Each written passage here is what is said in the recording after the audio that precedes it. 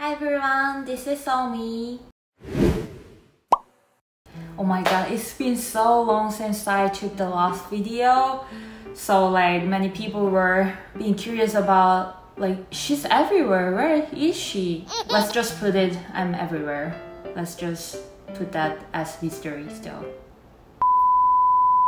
So today, I wanted to talk about the fashion differences between Korea, Japan and China because I've been living in many different countries until now and I've seen a lot of different Asian people and you know like Korean, Japanese, Chinese people look quite similar as appearances but there are so many differences actually and I was talking about the facial difference in the last video and I'm gonna talk about fashion differences today. First, it's about the exposure so compared to Korean and Chinese girls, I don't think Japanese people uh, expose a lot of their skin. So even in really hot summer, they don't really uh, show their legs. They wear long skirts and they wear long pants, but I didn't really see Japanese girls wearing short pants. So regarding bustier style fashion as well, so the thing I'm wearing right now, even if Japanese girls wear these kind of clothes. Uh, they wear over the t-shirts. They don't wear uh, just this bustier style. But one thing I realized, uh, which was really unique, Japanese girls tend to show their arms much more than Korean girls. So they wear no sleeve like this one, uh, in especially summer when it's really hot, but they never expose their legs. Second thing is baggy style. So basically, I think Japanese girls wear uh, the most baggy style, really baggy clothes and not really tight clothes. Recently, Korean people are starting to uh, wear really baggy clothes because it's also kind of a trend as well but it's not only a trend in Japan. So I've seen Japanese people's fashion, like I was looking for the material and when I was traveling in Japan about like 10 or 20 years ago, like they were wearing really baggy clothes and the first impression I got uh, about Japanese people's fashion was that their clothes are really baggy. And you know what? If you see the newcomers taking the interview in Japanese companies, you can see they are wearing even baggy suits as well. But regarding China, I think all their fashion is kind of tight clothes. They show their body style and women tend to feel like that's how they can show uh, their fashion style. Next is general fashion style. So in Korea, I think the popular style among girls is more like cool style. And in Japan, you know, it's very cute and lovely.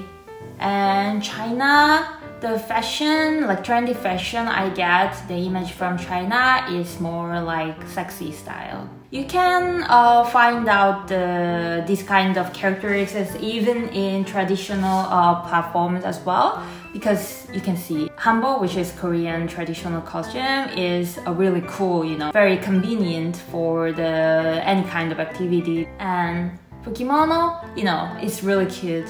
And for qipao, which is Chinese uh, traditional costume, is really sexy. So I think I also got the impression from these kind of uh, traditional costumes as well. One more thing I found it uh, interesting about Japanese fashion is uh, they wear a lot of different kinds of hats. Beanie, beret, futon. I think in Korea we usually uh, wear baseball caps and that's the main kind we use. But Japanese people wear really a lot of different kinds of hats and I found it is really attractive. Regarding the winter fashion, you know, in Korea, we have to uh, use the long coat like every time we go outside because it's freezing it's going under like minus 15 degrees in the winter so uh, we usually wear like just one kind of clothes you know uh, when we go outside there's no other choice japan and especially tokyo where i live uh, well, it's gonna be a little bit different from uh, other parts, like you know, like the northern parts, which is uh, a lot colder. But in Tokyo, we have a lot of different choices So we can wear coats and also like trench coats even in winter and we can wear the long coats as well. So basically we have so many more fashion choices in Japan in winter. Regarding China, I cannot really say because, well, I met my Chinese friends when I was living in England and Australia, and it's not that cold in these kind of countries compared to Japan and Korea, so I didn't really see the winter fashion.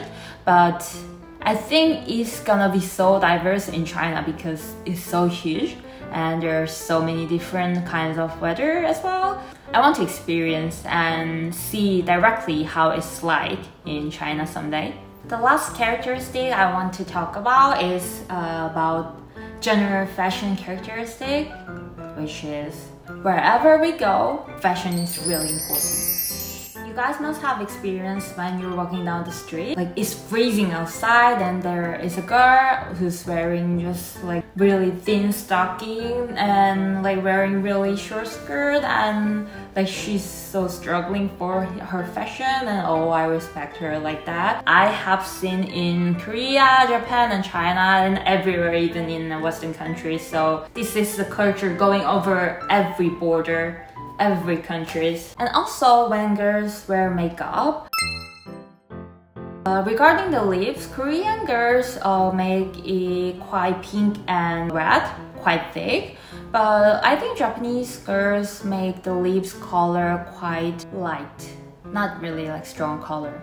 And I have the impression Chinese girls put the really red color and that's kind of a symbol of uh, beauty. So today I was talking about the differences of fashion between Korea, Japan and China. I hope you guys enjoyed this content because I really love making this kind of content talking about cultural differences and I will make sure that I'll bring more interesting content next time. Thank you so much for uh, the comments always and I always appreciate that and I will be looking forward to any kinds of comments, criticism, and also like praising and also any kinds of opinions. Thank you very much and see you next time. Bye!